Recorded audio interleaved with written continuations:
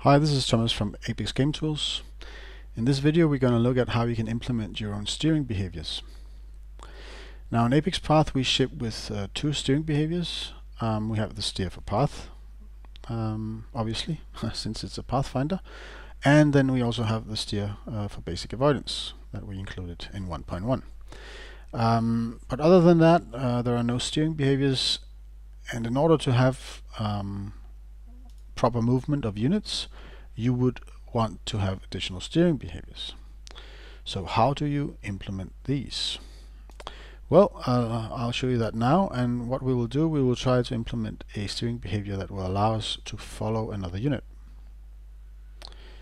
So going to the code editor, I've created a class called steer to follow and all steering components that you add, you simply um, derive those from steering component, which has one method called get movement vector that you need to implement. This is where you return the movement input that you want to apply to the unit with this um, steering behavior. All the different steering behaviors will then be combined into a final movement vector which will move the unit.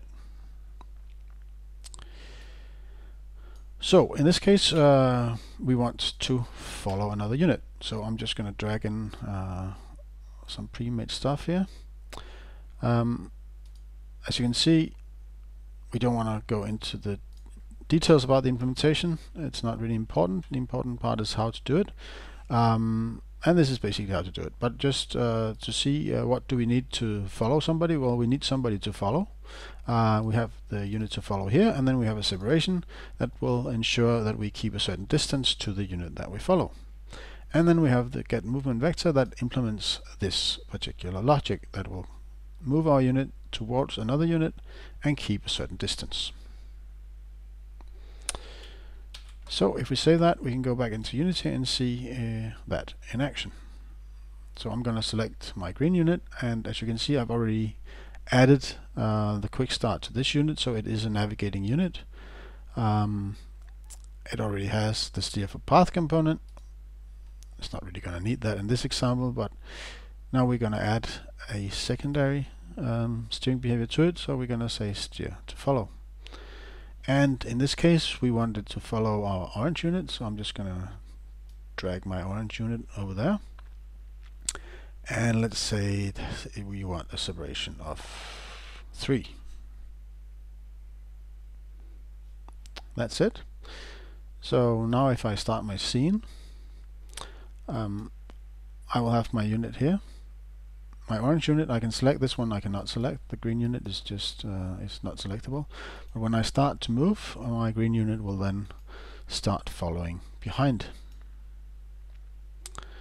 And it will stop uh, within a distance of 3 so that's it. That's obviously very simple behavior. But you can implement um, all the standard steering behaviors uh, doing just like this and then attach them to the unit and just to explain in a little more detail what actually happens is that when you have uh, a number of behaviors uh, attached to a unit they will all as I said be combined and the one that combines them uh, is this called the steerable unit component. This one combines all the different steering components and uh, the result will then be applied to the unit as the final steering vector. So um, just to wrap this up, let's look at the additional options that we have here. Um, so, oops.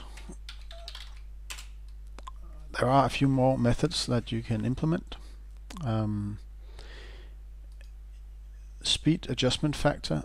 If for some reason um, your steering behavior wants to adjust the speed of the unit, it may need to speed up for your particular behavior, then you can adjust um, the um, speed here.